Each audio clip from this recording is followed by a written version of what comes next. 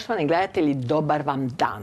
Malo danas zazimilo, pazite se, nemojte izletati iz kuće, a da se niste ipak adekvatno obukli, jer ovo su vremena kad vam se može zaista zdravlje ugroziti i da ne znate što se desi da pola travnja preležite u krevetu. Pa eto, pazimo i dalje i budimo pažljivi prema svom zdravlju. Ono što je jako važno, e, danas ćemo govoriti o jednoj ugodnoj, emisiji, ugodnoj temi, dobroj temi, koju mi uvijek negdje malo gurnemo pod tepih, ali vidjet ćete i zašto pa ću vam odmah predstaviti moje gošće.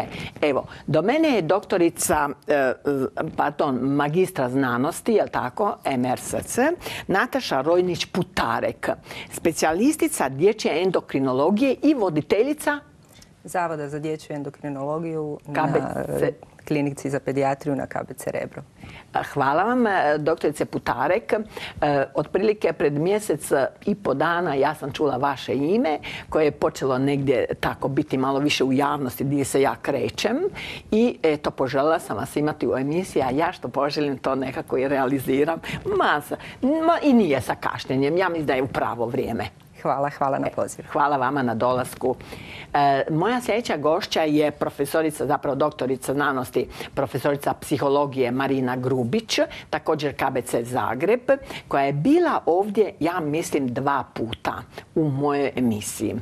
Ja mislim tri, ali dobro. dobro, tri. I koja je sudjelovala isto u e, kreiranju ili ja bih rekla nekako senzibiliziranju roditelja i uopće svih nas o problemima djece koja već možda imaju prekomjernu težinu pa i debljinu. Evo, e, moj će, evo ga, odlično, super, da se vidi taj priručnik. Pardon, ja ga malo krivim. Opa, opa, evo ga, gledaj, gledaj, evo, odlično, odlično, super, krasno, evo. To ćemo poslije malo zajedno komentirati, možda i ovaj priručnik, jer u njemu ima dosta stvari s kojima se vi bavite.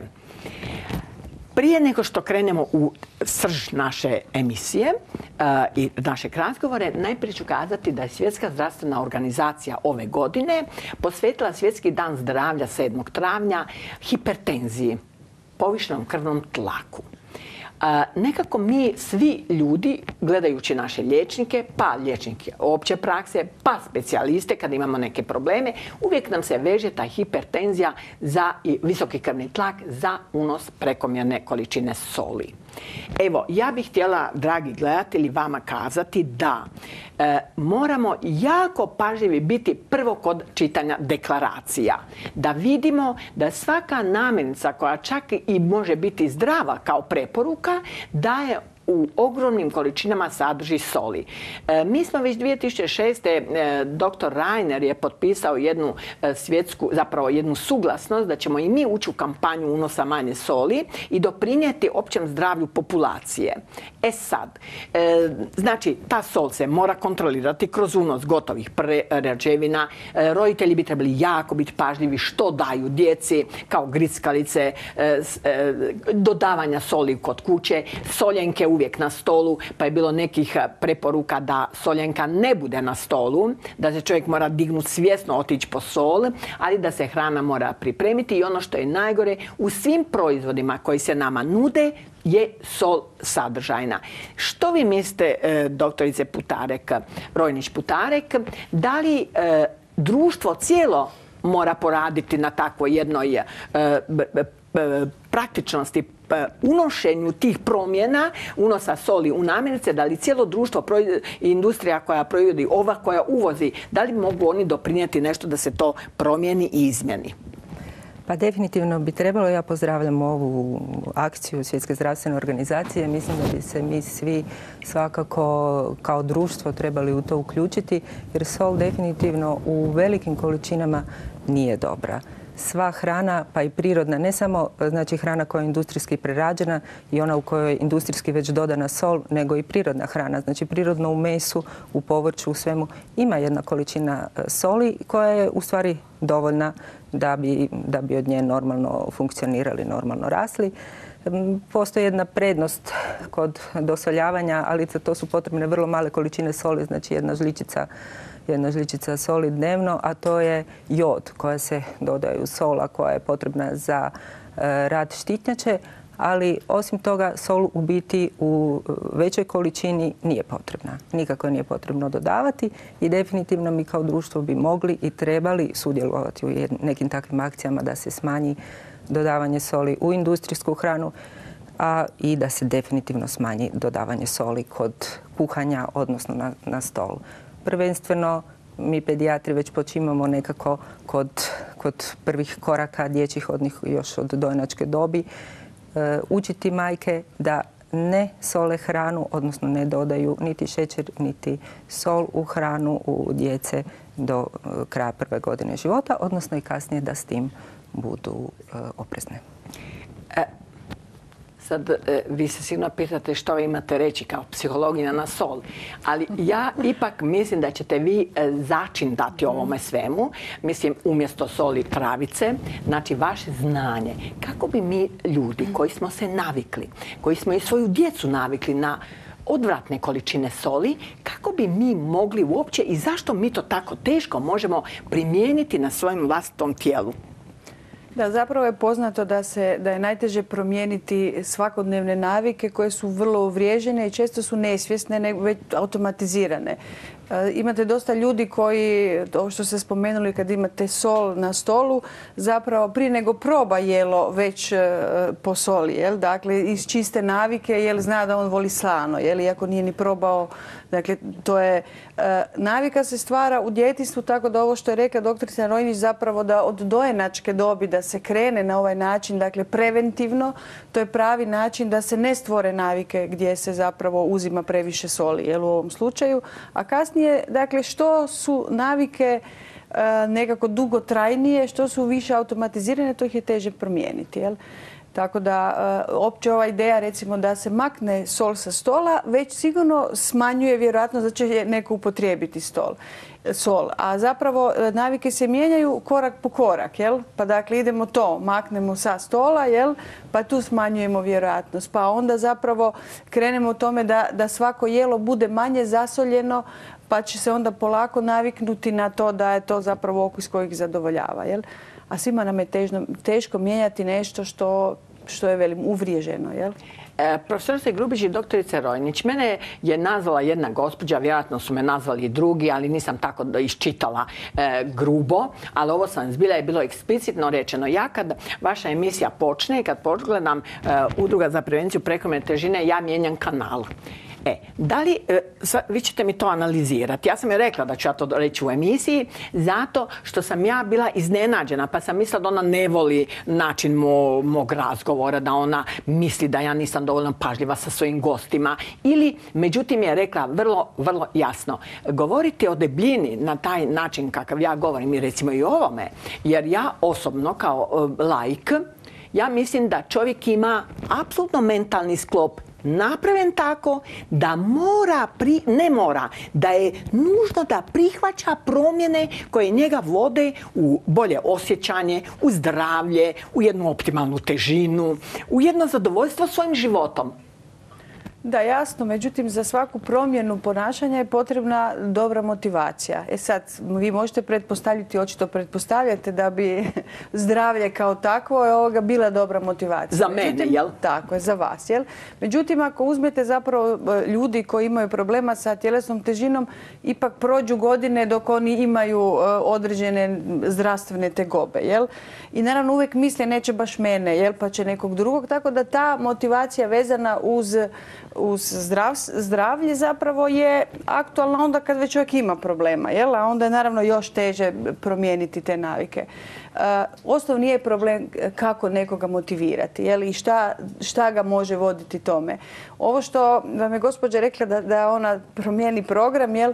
to može biti, ne znam, jel? dakle to je jako individualno, ali može biti i zbog toga što ona ima e, taj osjećaj zapravo nekakve naučene bespomoćnosti. Ona se možda i trudila da smršavi pa krene pa izgubi motivaciju pa ne može, jel? A ovako kad vi pričate o tome ispadne sve lako, jel? A njoj baš nije lako. A zapravo nije lako mijenjati navike i tu ljudi e, e, često trebaju pomoć? Ali pomoć u stvari mi trebamo tražiti pomoć. Apsolutno. Znači i tu osvijestiti taj problem jer e, evo ja danas isto molim moje gledatelje da ne mijenjaju e, e, kanal, da nas gledaju do kraja. Zapravo nemojte nas gledati ako vas nešto smeta, ali slušajte, možda ćete čuti nešto što će vama pomaknuti vašu zelenu svjetlicu i bit ćete spremni za promijeniti svoje navike koje su dovele vas, a možda i vašu djecu u jedno stanje kad zaista trebate stručnu pomoć. Ja bi to tako nazvala. Znači, ne mijenjajte program. Evo, e, kad mi govorimo, e, ja ne bih htjela baš jako se posvetiti da zaista danas roditelje stresemo jako sa debljinom svoje djece, ali evo po, po zadnjim statistikama koje je napravila profesorica Jureša, Vesna Jureša, mi nažalost u Hrvatskoj imamo 18% prekomjerno teške djece, prekomjerno teške, a od toga imamo 8% debljine. E, doktorice Rojnić, da li je to zabrinjavajuće ili će neko reći šta oni tu meni govore, pa to je dosta zabrinjavajuće. Ja moram možda se vratiti na ovaj odgovor na vaše prethodno pitanje. E, zašto ljudi tako reagiraju? Ljudi možda tako reagiraju zato što ova epidemija debljina ona traje u stvari e, za, jednu evoluciju dosta kratko. Znači traje nekakvih zadnjih 40 godina. Počela je negdje u SAD-u krajem 80. godina prošlog stoljeća. Jako se brzo proširila i na zapadne zemlje e, Europe a onda i na sve zemlje razvijene, a kasnije na zemlje u razvoju. Sad je već skoro u pandemiji, ne možemo govoriti o pandemiji s obzirom da ima još jako puno dijelova svijeta gdje postoji glad, ali u zemljama u razvoju ona definitivno e, postoji i sve više i više e, ljudi ima taj problem, znači debljine. E, ovi podaci koje ste vi rekli su jako zabrinjavajući. Znači, to znači da, nekakvih, da nekih 20% djece u školskoj dobi, a opet tu školsku dob moramo podijeliti. Kod djece to dosta dosta e, teško zato što postoje različite dobi. Znači odrasli smo odrasli nakon 18. godine, a djeca ona imaju predškolsku dob, onda imaju e, dob mlađeg uzrasta osnovne škole i kasnije pubertet i adolescenciju koji su opet posebna priča za sebe. Znači 20% djece, znači jedno od petero djece u školi ima prekomjernu tjelesnu težinu. To znači 70 do 80% te djece će biti e, pretili odrasli i to posebno oni koji su postali, e, koji su ušli u tu fazu debljine prije pete godine života. Tako da e, ako, ako debljina počinje tako rano, onda već tako rano počmu i nekakvi preduvjeti za komplikacije koje ta debljina nosi. A debljina u stvari nosi dosta komplikacija. Debljina je u stvari jedna vrlo kompleksna bolest. Nama se čini da, sve znamo o tome, da je to vrlo jednostavno, znači postoji neravnoteža između unosa i potrošnje energije, jednostavno se e, čovjek tako počne debljati. Ali u stvari tu postoji i nekakvi drugi elementi koji su jako bitni. S obzirom da je znači ono što sam prije rekla, da je e, puno, puno duže, znači epidemija traje nekakvih 40-50 godina puno, puno prije toga e, ljudi nisu, bili e, debeli, nisu bili pretili i e, postojala je nekakav prirodan tijek između ovih razdoblja gladi i razdoblja obilja. Ta razdoblja obilja su bila znači nekakve svetkovine koje su bila puno rijeđa nego razdoblja gladi i ljudi su se u stvari prilagođavali na taj način, evolucijski su se prilagođavali genetski na to da e, su preživljavali oni koji su puno manje energije trošili u razdobljima e, gladi. Tako da mi u stvari smo i genetski sada više predisponirani kad smo ušli u obilje e, hrane koja je visokokalorična, koja je nezdrava, da, smo se počeli debljati. S druge strane, postoji taj problem smanjene tjelesne aktivnosti koji isto počeo zadnjih 20-30 godina. Kad se, kad se, u stvari je najveća razlika u, e, između nas i naše djece. Već mi i naši roditelji, naši roditelji i njihovi roditelji i tako dalje unatrag, tu nije bila tako velika razlika niti u prehrani, niti u tjelesnoj aktivnosti. I zato su ljudi možda malo zbunjeni, zato što im se to e, naglo dogodilo. Oni su učeni da trebaju pojesti sve sa tanjura, da moraju djeca što su, što su deblja, to su zdravija i tako. I odjednom smo mi došli sad ovdje i govorimo da to nije baš tako. A kad ja to tako gledam, e, prošla emisija je bila posvećena uopće debljini kao tako, doktor Košić, doktorica Musić-Milanović, pa smo malo e, govorili onako globalno gdje je najviše debljine i tako dalje. Međutim, doktor Košić je vrlo eksplicitan kad kaže nisu debeli ljudi krivi što su debeli. Ajde pustimo da ja s 40 godina sam debela i da nisam kriva za svoju debljinu. Ali, Ko je e, profesorice Grubić krive kad moje dijete sa četiri godine ili pet godina, rodi se normalno recimo dijete i počne se debljati, debljati, debljati i u 11. i 12. godini ima po 20-25 kila viška. Tko je tu, nećemo govoriti kriv, to vi ne volite, odgovoran. Evo, odgovornost postoji. Djelimično je društvo odgovorno što nam nudi svašta. Ali ja stvaram to društvo, vi stvarate društvo, mi stvaramo. Mi smo ljudi, individue ko stvaramo društvo. Tako je. Naravno da su roditelji su inače odgovorni jel, za nekakav odgoj za rast i razvoj svoje djece. Međutim, oni odgajaju svoju djecu u, određenim okolnostima i određenom društvu. Jel? I ovo što je rekla doktorica, doktorica Rojnić, naravno da to je situacija u kojoj sad odjednom jel se dogodilo to da, da, da smo u obilju, jel, da mi moramo svi promijeniti te svoje navike. Roditelji naravno e, bi trebali od rane dobi jel, e, kontrolirati što i kako dijete jede, obzirom da su oni ti koji određuju i vrstu i količinu hrane, oni su ti e, koje djeca oponašaju, oni su ti koji dakle stvaraju navike, oni su ti koji stvaraju e, E, određuju stil hranjenja, jel? Oni su ti koji određuju atmosferu vezano uz uzimanje hrane i naravno da onda u ovom smislu jesu odgovorni. Međutim, i oni su u, u nalaze se u određenim okolnostima i u određenoj kulturalnoj sredini koja opet određuje njihovo ponašanje? Koja onda utječe na ponašanje njihove djece. I E, ovo što sad mi svi toliko pričamo o toj debljini, to je izrazito važno upravo zbog toga da, da krenemo od početka i da krenemo od promjene stava. Jel?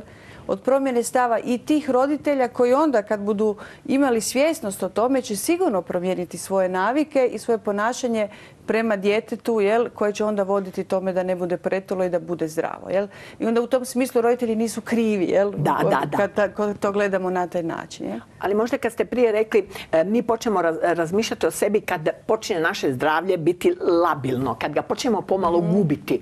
Bilo kad se pojavi visoki tlak ili se pojavi neki, neke druge komplikacije ti kao tobože ne bole, ali su tu. Diabetes koji ne boli pa je tu. Pa kad to povežemo sa, kad nam se to imperativno relativno poveže sa debljinom, svi skačemo na zadnje noge. E, što se te doktorice Rojnić mora desiti da zaista moje dijete dobije u 12. godini, 13. godini diabetes tipa 2, e, pa da ja kao roditelj reagiram ili ja zbilja moram već u, u 7. i 8. godini, ako je bilo je to tako kako je bilo, da ja moram već u 7. i 8. godini reagirati brzo i promijeniti životne te, probati promijeniti e, navike hranjenja. I ipak je jelo kod djece, jel tako? Navike hranjenja su bitne, jelo je posebno bitno, ali isto tako e, važna tjelesna aktivnost. I mi isto tako ne možemo početi u sedmoj i osmoj godini o tome razmišljati. Znači, trebalo bi početi još puno ranije. Trebalo bi početi od još nerođenog djeteta. Znači, majka, e, studije su pokazale da majke koje imaju e, veću tjelesnu težinu prije, prije, prije trudnoće, da imaju veći postotak, znači njihova djeca imaju puno veću šansu da, da budu pretila u prvoj godini života, a onda kasnije isto e, također da imaju puno puno veće te probleme. Čak je, znači, težina majki prije trudnoće ima e, veću povezanost sa debljinom djece kasnije nego samo debljanje u trudnoći, što isto tako ima dosta veliku povezanost sa, sa, kasnije, sa kasnijim debljanjem djece. Moram ovdje spomenuti da isto tako E, djeca majki koje premalo kila dobiju u trudnoći, koje su premršave i ne dobiju dovoljno kila u trudnoći, također imaju puno više šanse za dobiti diabetes tip 2 ako e, budu izloženije manjoj količini hrane, zato što postoje određene patofiziološki mehanizmi koji do toga dovode. Znači, ni jedan ni drugi ekstrem nisu dobri. Trebamo biti nekakvi umjereni u životu. Znači, e, opet kad se dijete rodi, velika većina studija ipak pokazala da dojenje povoljno djeluje ne samo na debljinu, nego i na jako puno drugih imunoloških i raznih e, drugih elemenata psiholoških o kojim može profesorica Grubić više reći. Da, o svim komplikacijama koje se pojavljuju u vrlo ranoj mhm. dječjoj dobi, što se doktor Kožić, zašto njega spominje, zato što mi je sad bio pri tjedan dana, mhm. e, što se on u stvari, e, što mu je strašno, da danas je toliko te bolesti odrasle dobi E, e, kardiovaskularni problemi, e, hipertenzija, diabetes. Kod djece koja to uopće prije to nije bilo moguće. On je bio malo debeljuškast, ali je to bilo negdje baš u prirodnosti debeljuškaste. Jer, profesorice Grubić, mi isto roditelji trebamo imati jedan racionalan stav prema svom djetetu. Jer ima roditelja koji su opterećeni težinom, debljinom, pardon, koji se apsolutno izlažu takvim patnjama i jedu jedan, jedno pere salate dnevno, da u stvari mogu i e, maltretirati ili tiranizirati svoju djecu da poduzmu takve iste stvari da se ne bi udebljali. To isto je e, pogrešan pristup. Je, je li pokazalo se recimo kad se radi o, stilu hranjenja da je i ovo restriktivan taj pristup, dakle kad se djeci ograničava jako puno ovoga vrste ili količine hrane, zapravo da je to povezano sa debljanjem jer dakle djeca uzimaju vjerojatno ono što im je zabranjeno. Tako da je tu jako važno naći opet dobru mjeru i sredinu, dakle kontrolirati što jedu i koliko opet s druge strane, jer ne biti restriktivan do te mjere, jer da da, djeca onda imaju potrebu za, za ne znam, traženjem e, jela okolo, što bi oni rekli. Tajno jesti. Ili tajno jesti. Tajno jesti, sakrit u svoju tomu. ali ja bih još sad dodala ovo kad ste rekli ko, je odgovoran. E, ja valjda isto kao profesor Košić ima potrebu malo te roditelje ovoga... Odgovornost naravno je ova, ova direktna na roditeljima, jel? ali ako znamo da zapravo eh, je osnovni uzrok te debljine eh, je eh, ovaj životne navike jel, koje su takve, dakle da zapravo i djeca se manje kreću, da, da je manje zastupljen sport, da djeca ako žele ići u sport onda se moraju uključiti u nekakvu natjecateljsku ne znam, ekipu, jel? pa naravno niko ko ima malo više kila neće uzeti to dijete, dakle, dakle nije to ono sport rek rekreativno, pa to je opet ovaj nekakav faktor društveni. Da ne kažem koliko su mediji, e, koliko je industrija prehrambena, jel, koliko oni imaju tu, koliko je njihova odgovornost tu velika. Ogromna. Mediji su recimo izrazito, se, kad se govori o djeci, to se pokazalo zapravo da djeca koja gledaju televiziju više od tri sata dnevno imaju četiri puta veću vjerojatnost da će biti pretili od ove koji to ne rade. I to ne zato ili ne samo zato što sjede jel, dok gledaju televiziju, nego zato što su izloženi reklamama e, koje su uglavnom se odnose ili na ove slatke napitke ili na, na slatkiše ili te nekakve ušećerene namirnice koje nikako nisu zdrave. Jel? Dakle, pa sad kad bi krenuli dijeliti odgovornost, mislim da bi bilo puno područja gdje bi... Apsolutno, ja, ja se slažem s vama. Ali, e, doktorice Rojnić, gledajte, kod vas sigurno dolaze roditelji na endokrinologiju kad e, su djeca, ako govorimo o debljini, ako sad baš se fiksiramo na debljinu koja je zaista e, postala problem u Hrvatskoj i kod velikih i kod malih. Kod malih, evo, dijelimo slično mišljenje. Moje dijete nije bilo debelo i nije ni sad debelo, jer eto, jednostavno sam imala potrebu da jede normalnu hranu, da se ne kupuju namirnice koje tu ne spadaju, da se ne kupuju prazne nutritivne namirnice, a imam prijatelje koji imaju dijete i sa e, posebnim potrebama i kupe e, po kilu bombona, e, po pet litara Coca-Cola tjedno i kad ih molim i kad ih zbilja pokušava nekako s ljubavlju osvijestiti da to nije u redu, onda oni opet ću se vratiti pa ćemo se tu. Onda se oni opet, ali što, vidiš, bolestan je, treba mu. Mm. Tu bi morali možda tu granicu neku e, profesorice Grubić promijeniti da kako god naše dijete bilo u jednoj drugoj, ja bih rekla, e, ograničenosti, da e, previše hrane donosi, to nezdrave hrane, da vodi u još veće probleme zdravstvene. ja mislim da je osnovni problem u tome što ljudi debljinu ne doživljavaju kao bolest. Jel? inače, ne, a to je, to je sasvim sigurno bolest i po definiciji je bolest. To je jedna stvar. Druga stvar je to što u dječjoj dobi onda imate i ovo još negdje tu poruku zapravo da se ljubav pruža kroz hranu, jel? pa onda su ljudi popustljivi, jer je zapravo uzimanje hrane koja je ukusna je zadovoljenje ovog trenutnog sad nekakvog poriva da ti bude dobro, jel? I tu su djeca puno teže se odupru tome. Mi još možemo, jel? Pa, teško, evo kako ima 65% prekomene teških Hrvata, od toga 20-25% vrlo debelih, Znači I, njima je teško, ali kod djece onda još teže, a onda je roditeljima teško i gledati kako ovoga, su oni nezadovoljni kad im se nešto ne da. I samo ću vas još upitati nešto. Kako bezbolno naučiti da se djetetu kaže ne? Pa bilo šta da je to. Od ranog djetinstva da, to je, to je zapravo vrlo jednostavno. Jel? Ako je roditelj siguran, e, siguran u, to, e, u to što govori, jel? ako je siguran zašto govori taj ne i ako je dosljedan u tome, djece to vrlo brzo, vrlo brzo prihvati kao, kao dakle nešto što, što se podrazumijeva. Zato što je dakle upravo roditelj taj koji, koji, e, je to rekao, napravio, roditelj mu je najvažniji. Jel? Samo roditelj mora biti siguran u to. Jel? I ako je siguran da će biti dosljedan i onda naravno to dijete prihvati kao takvo. Jel? To vam je ovo situacija vezana što ja često kažem roditeljima e, kad dijete dobi dijabetes tip 1 i mora isti čas spomenuti prehrambene navike. Nema roditelja koji kaže a kako mu ja ne bi dao slatkiše, znate, kad on to želi. Jel? Niko od roditelja, nego to prihvate i niko od djece nema s tim problema do te mjere da bi sad, jel, jer su shvatili da je to, dakle roditelj kaže ne možeš jesti slatkiše, jel, i zato što imaš dijabetes. I roditelj je sasvim siguran u to i čvrsto je tog uvjerenja i djeca to prihvate. Jel? I mala i velika i kakva god. Jel? Evo, došli smo na...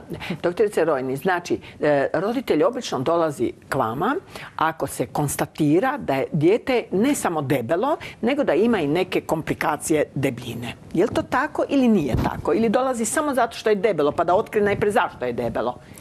Ovako, roditelji uglavnom dolaze, ranije su dolazili češće zbog toga što su bili poslani od e, liječnika primarnog pedijatra ili nakon sistematskog pregleda i e, uglavnom su dolazili sa pričom ili e, pitanjem da li da li dijete možda ima nekakvu endokrinološku bolest, recimo bolest štitnjače ili nekog drugog endokrinološkog organa, zbog čega je tako uh, se udebljalo tako naglo i zbog čega ima tako, tako puno. Ono u stvari ne jede puno, ali se deblja.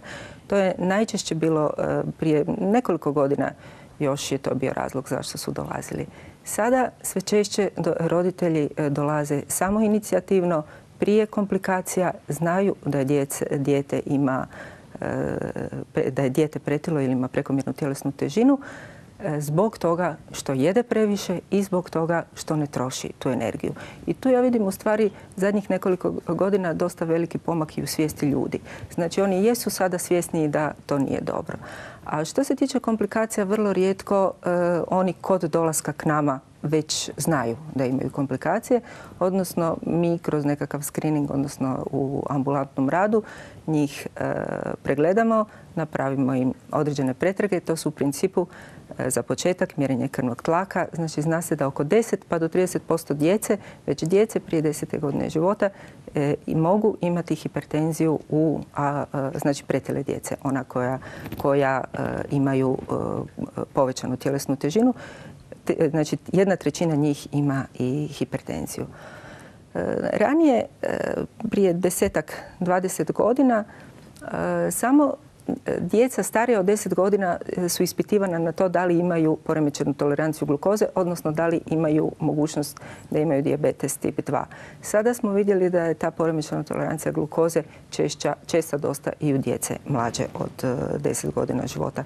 Mi smo radili na istraživanje prije nekoliko godina u našem zavodu.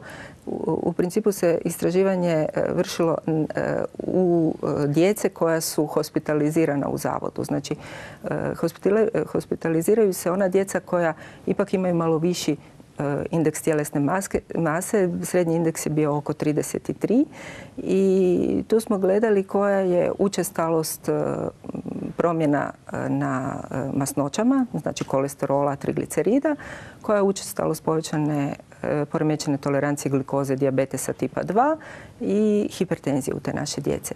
I ono što smo vidjeli i koje smo rezultate dobili, to je da su djeca sa e, poremećenom, sa e, hipertenzijom, isto tako kao i negdje u svjetskoj literaturi, imali smo e, negdje 18% te djece. Što se tiče dislipidemije, ono što se prvo vidi, vidi se povećanje triglicerida i smanjenje HDL kolesterola. Znači kolesterol ima nekoliko tih frakcija. Jedna je HDL, a to se naziva dobar kolesterol. To je onaj kolesterol koji nas e, čuva i LDL kolesterol koji je kao loš kolesterol koji je povezan s aterosklerozom, sa, sa kardiovaskularnim bolestima, sa ranim infarktima, cerebrovaskularnim izultima i svime tome dalje. Ono što kod djece se prvo javlja je povećanje znači, običnih masnoća, tih triglicerida i smanjenje dobrog kolesterola, znači HDL kolesterola.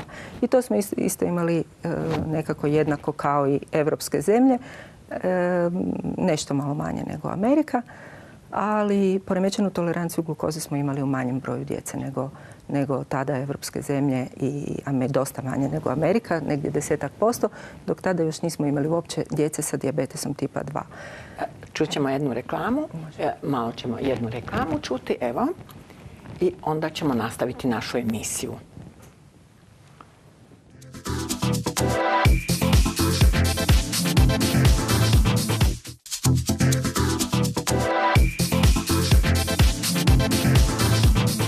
Mršavjeli ste i debljali se ugrožavajući zdravlje. Vitaslim kapsule je prvi prirodni proizvod proizveden u Hrvatskoj s kojim ćete stvoriti zdrave životne navike i postići optimalnu težinu. Vitaslim, vaša zona zdravlja.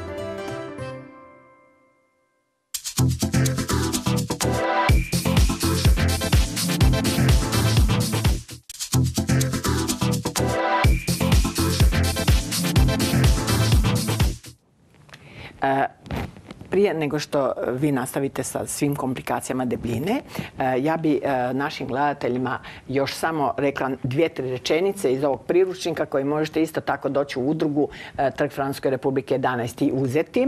Ali evo, jeste li znači recimo da vrećica čipsa ima 12,5 žlica ulja? Vrećica čipsa. Gle, e, mene i naša, naše gošće gledaju. Da, 12 i žličica, pardon, ne od juhe. Vrećica čipsa ima 35 grama, to 35 grama u organizam godišnje unese 5 litara ulja. Sad kad bi to po doktoru Aganoviću rekli što to znači za bujanje tijela i za nezdravost i za e, e, dislipidemiju i za e, visoki krvni tlak i uopće za komplikacije zdravstvene, to je bilo katastrofalno. E, jedna čaša Coca-Cola ima 39 grama šećera a jedna čaša Pepsi kole 42 grama. Jedna čaša gaziranog napitka bilo kakvoga otprilike deblja osobu 7 kila godišnje.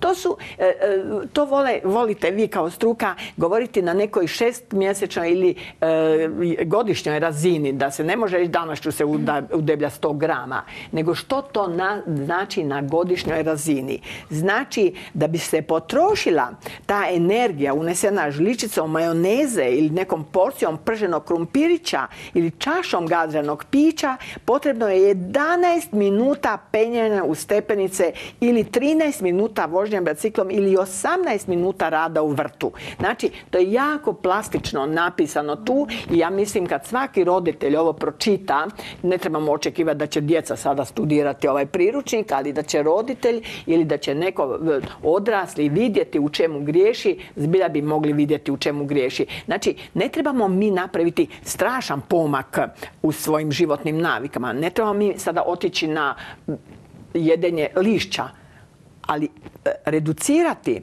našu prehranu koja dovodi ne samo do debljine, nego do zdravstvenih komplikacija. Je li oni očekuju od vas takve savjete i jesu li roditelji spremni prihvatiti takve savjete?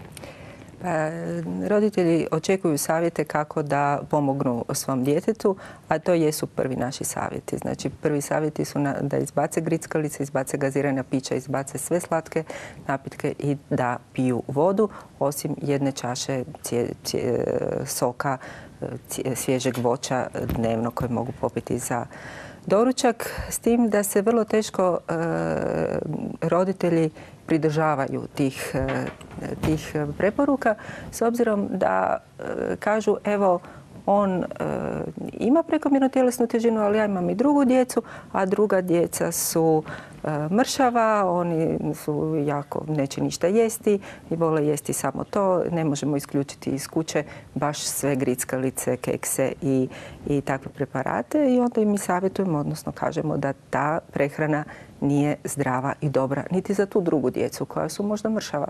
Znači niti za nijedno dijete ni za jednu, ni za jednu osobu takva prehrana nije dobra pa im dozvolimo na rođendanima i tako je to, putovanjima.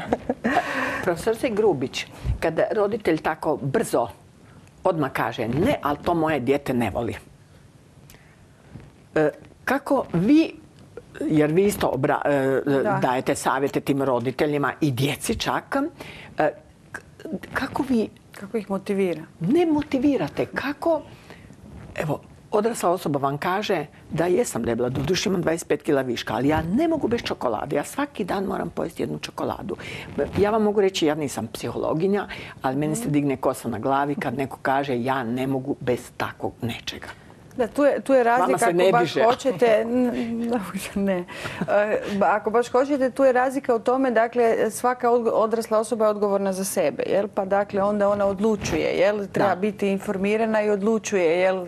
Koje rizike poduzima u svom životu. E, kad se radi o djeci, onda su odrasle osobe, dakle roditelji, odgovorni u ovom slučaju za zdravlje djeteta. Jel? I dakle, to je onda direktno, to treba biti prava motivacija. Dakle, vi ste odgovorni da vaše dijete bude zdravo, a vaše dijete, dakle, ako ne smršavi i dakle, ako nastavi s ovakvim prehranim navikama, će biti bolesno. Jel? I to, to, je, to je nešto što je onda odgovornost roditeljska i onda se to, to isto kao kad dijete ima neku bolest pa mu liječnik pripiše ne znam određenu terapiju, lijek koji mora uzimati, jel? I onda naravno da to opet odgovornost roditelja ili je opet odgovoran za zdravlje djeteta. I to, to je nekakva osnovna motivacija koja, e, odnosno motivacija, to tako treba i mi reći. Jel? Svaki puta e, sa, sa roditeljima koji imaju takav stav, pa dobro, nije to ništa, pa on će smršaviti sam po sebi, pa eto vidite, ja sam debel pa mi nije ništa. Jel?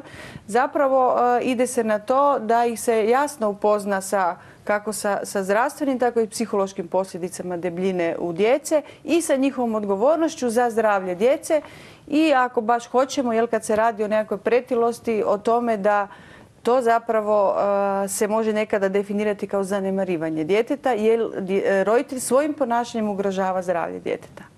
Znate da je ovaj, eh, u Švedskoj ili znam da u jednoj stoji, ne mogu se sasjetiti koja je zemlja pa ne trebam se ni sjetiti, eh, oduzeto debelo dijete majci jer je dijete u 12. godini imalo 90 kila i jednostavno je oduzet, socijalna služba je oduzela to dijete eh, majci jer je na sve ranije savjete, e, kontrole, e, sve što je dostupno tome, majka je bila apsolutno ne, nije htjela saslušati i rekla je da ona ništa ne može napraviti, da njeno dijete sve to što mu ona daje i voli.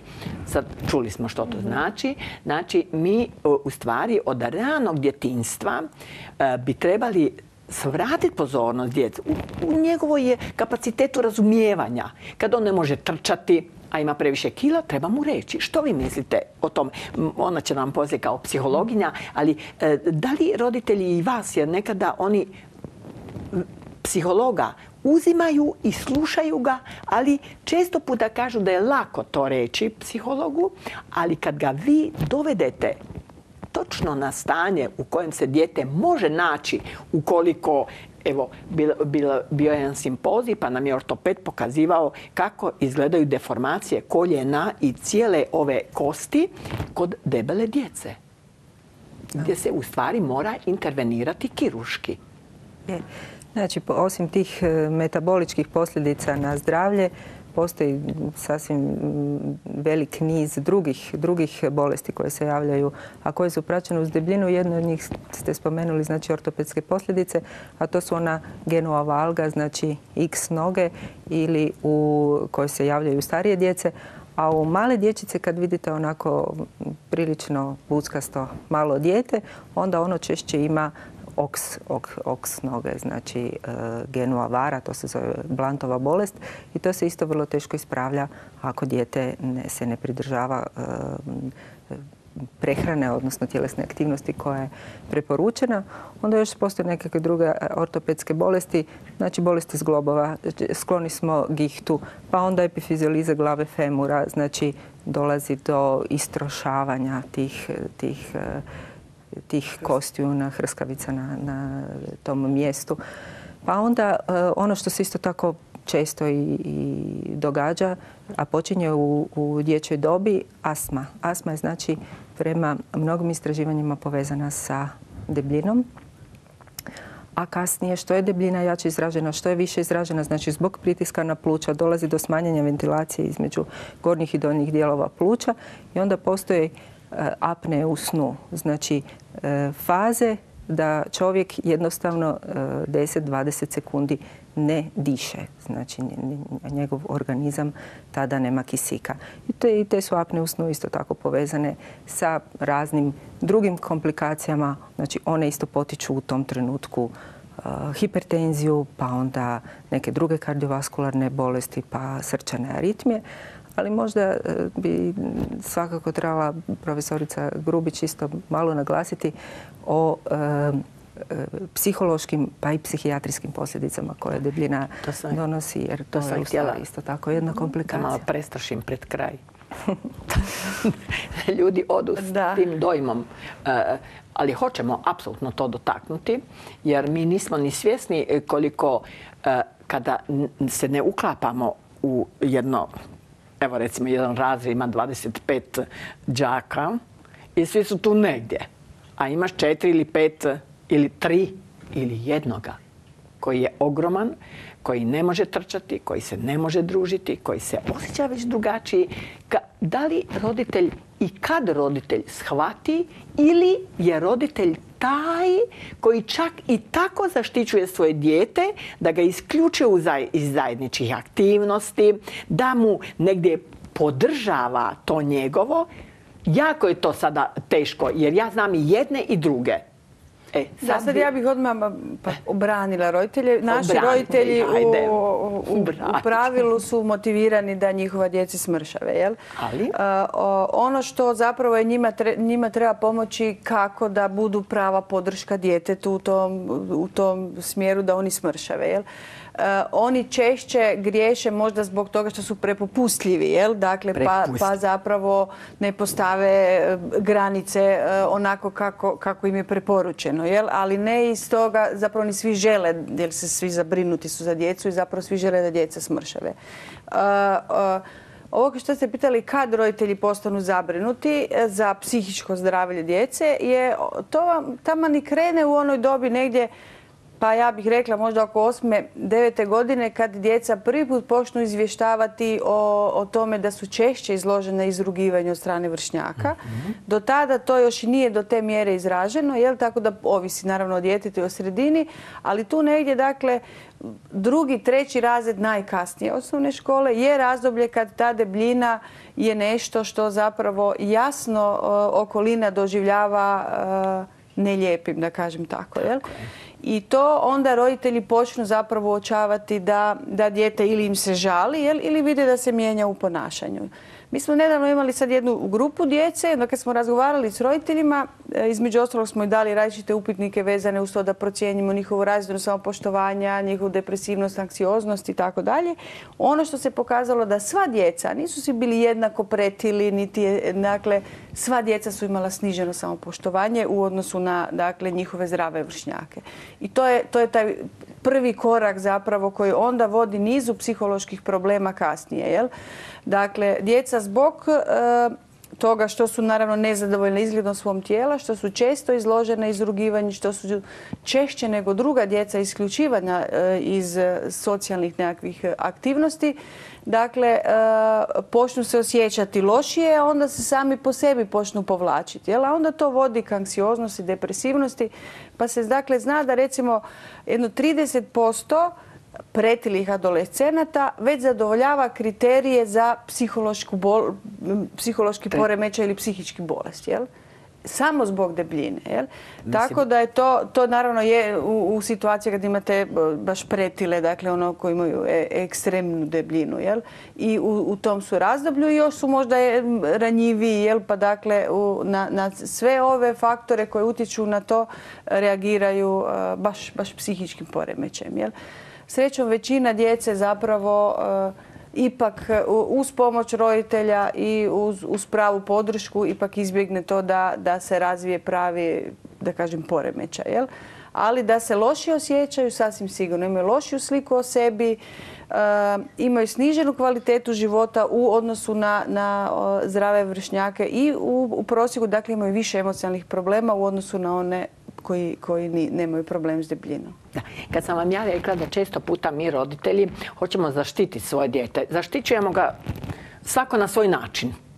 I ja imam te, već znam, znam iz mhm. prakse, da recimo ispričavaju e, svoju djevojčicu da ne ide na vježbanje ili svog sina da ne ide na vježbanje. E, kad sam vam to rekla prije, ja sam to rekla zbilja osnovano, pa bih htjela to i, i odavde da mi pošaljemo poruku, da to nije način na koji pomažemo svom djetetu kad ga zaštićujemo, nego da mu ga motiviramo, da kažemo dobro, ako ti je smeta, ako te možda smeta, evo vi bi to mogli komentirati meni, ako ga smeta. Zašto? Ja isto želim zaštiti svoje dijete. I da ga povrijede, i da ga uvrijede. I, i to je tako. To je čak meni prirodno. Ja bi isto zaštitila svoje dijete. Ali možda da mu da, e, ja bi to rekla, jedan prostor mjesec, dva, tri, pa onda da kaže zaštitit ću te to ali poslije moraš početi mijenjati ili moraš početi raditi kako mi je savjetovano od liječnice, od psihologinje ili nekoga. To mislim na taj način aktivirati malo roditelje drugačije, svjesnije, jer evo šta svi ovdje psihijatri kažu, a i vi bi to rekli. Uvijek mi roditelji u stvari usmjeravamo dijete u neko ponašanje koje kasnije može biti nedobro, koje može pokazati neke ovisnosti, koje može, jer se nije izrazilo Eto, to je ono što je problem kod nas roditelja. Ja sam isto roditelj, ja bilja isto, ja bi i sad zaštitila kad već može biti majka. Ozbiljno. Da, s tim da ovo, e, tu je jako važno, dakle, roditeljima reći što je to zapravo, kako izgleda podrška djetetu u situaciji kad treba smršaviti. Pa podrška je to da mu je dostupna zdrava hrana, jel? da mu nije dostupna hrana koja nije preporučena ili koja nije zdrava. Podrška je to da roditelj potakne dijete na tjelesnu aktivnost na način dakle, da i on ide pješice do dućana zajedno s djetetom, da on prošeće s njim svaki dan, jel? da ne znam, da ga ne vozi u školu nego kaže idi sa prijateljem pješice do škole. To je već podrška. Dakle, inače kad se, kad se mijenjaju navike, zaista se mijenjaju korak po korak. Jel? I puno malih promjena zapravo onda rezultira kasnije e, nekakvim općom promjenom e, navika življenja, da tako kažemo. Jel? Dakle, kad se kaže samo vi trebate promijeniti navike, to ništa ne znači. Ali ako se kaže ovo prvo umjesto soka piješ vodu, jel to uvijek prvi korak, jel? Pa onda ne znam, e, kad, kad grickate doma onda imate narezano voće, jel? a nemate grickalice. Jel? To, to je, jede se samo, samo za stolom gdje se jede, ne jede se pred televizorom, ne jede se za kompjuterom. Dakle, samo takvi mali koraci promjene tih navika zapravo onda u konačnici vode. I kad se roditeljima kaže da je to, da je to ta podrška, jel? Dakle, da je vrlo to konkretno i vrlo jasno, onda oni to uglavnom i, i čine. I da to nije uskratiti svom djetu zadovoljstvo jesti. Jer svi pomisle odmah da neće više moje dijete ništa moći jesti. Ova, ovo što ste vi napisali u ovome priručniku, e, kako debljina utječe na psihovičko zdravlje djeteta, zaista je vrijedan, e, vrijedan jedan doprinos ovome priručniku i ja mislim da bi svaki roditelj trebao nabaviti ovo jer vi dajete konkretne savjete kako lakše promijeniti te navike ili kako motivirati dijete sa svojim primjerom, sa svojim razgovorom, sa svojim razumijevanjem djeteta da lakše usvoji neke nove navike. Evo, ako moji, evo, još jednom ću pokazati, a na trgu Francuske republike možete ovaj priručnik E, podignuti, znači i u četvrtak i u ponedjeljak i zaista vam može koristiti i od profesorice Grubić imamo i od naše pedijatrice e, doktorice Percl koja zaista kvalitetno objašnjava što to znači pravilna prehrana u dječjoj dobi, u adolescenciji da bi se odras, da bi bio odrasli psihofizički uravnotežen čovjek. Eto, i na kraju krajeva i Donatella Verbanes koja je kroz prehranu daje isto sjajne savjete. E, doktorice Rojnić, kad govorimo o komplikacijama e, kod djece, zdravstvenim komplikacijama. Znači, e, kako sam ja shvatila, ipak djeca, e, roditelji su motivirani najprije da, da maknu bilo koji endokrinološki uvjet zašto dijete previše jede. Ili može ono željeti previše jesti, a zbilja da mu ne daju. Da ima tu potrebu za hranom. Pa naravno da postoji djeca koja, znači debljina ima nekoliko različitih uzroka za debljinu.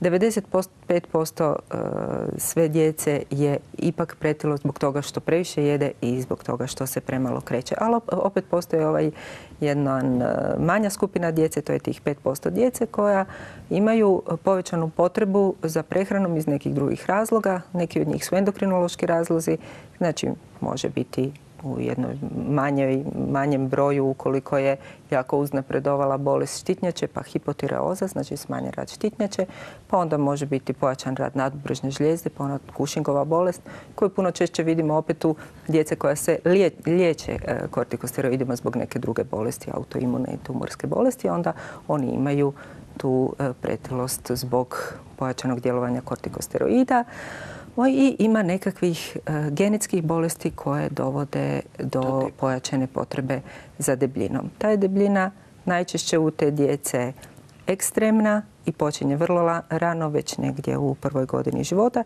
i karakterizirana je e, e, napadajima gladi, odnosno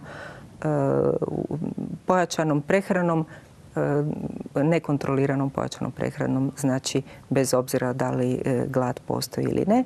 Najčešće su to geni koji u stvari na neki način modificiraju e, djelovanje leptina u, u hipotalamusu, u mozgu, znači jednog hormona i isto tako opet nekih drugih hormona koji se stvaraju u hipotalamusu kao što je PMC, pa koji onda imaju isto tako ulogu kao E, tvari koje sprječavaju uzimanje hrane.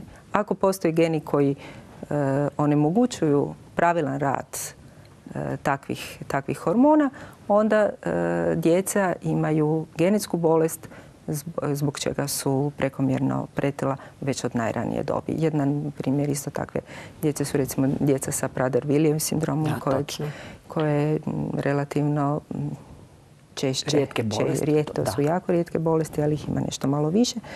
Pa ih češće susrećemo, ali opet te sve e, ti su svi sindromi, odnosno sve te genetske bolesti, imaju neke druge svoje karakteristike po kojima ih možemo prepoznati. Jedna od njih, i možda najčešća, gotovo u svima, osim u jednom od tih genetskih sindroma, je da su ta djeca mala. Znači ona su rastom mala, a prekomjerno su e, pretila, a djeca koja ima konstitucijsku pretilost, znači ovu običnu pretilost, e, koja je nastala samo zbog prekomjernog unosa hrane, oni su visoki.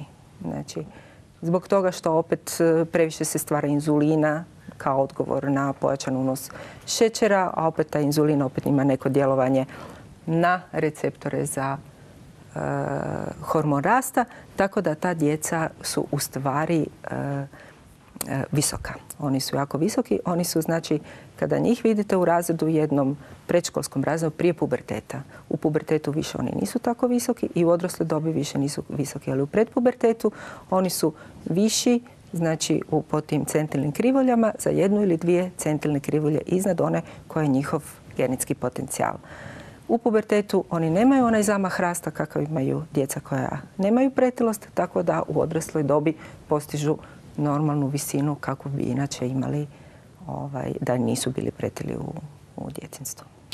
E, e, evo u ovom priručniku isto tako ima profesorica doktora Vesna Herceg Čavrake. E, ona je isto pedijatrica, kardiologinja i isto je dala nekoliko naputaka za prevenciju. Znači, važno je ovo što smo mi zajedno sada rekli, ta društvena angažiranost, da se jako pazi na reklamiranje, što se reklamira, da se, da voće, povrće bude dostupno E, da mogu zaista društvo da nam ponudi da mi možemo. Da se u škole možda ove velike firme ili velike tvrtke koje imaju toga na izvoz daje e, kao što je u Francuskoj običaj da se daje paketi i paketi da djeca imaju jedan obrok zdravi. Znači, može se jako puno e, roditelji da djeluju na to sjedenje uz e, kompjutere i TV.